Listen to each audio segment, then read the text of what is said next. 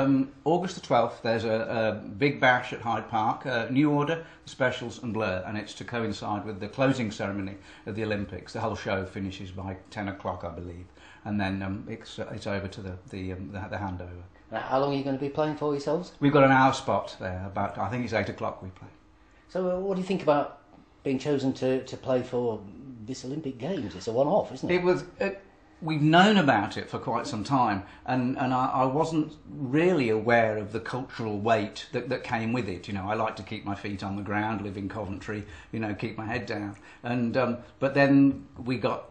It was announced that we were doing the show, and all these people were phoning me up saying, you know, hey, it must be really a great honour to play for that. So I thought about it, and I thought, well, perhaps it is a really great honour to be playing uh, because it's, you know, it's the the the music of like sort of you know 30 years ago you know, the, the New Order, the Specials, Blur, you know, and um, it, it still carries quite a cultural weight with it.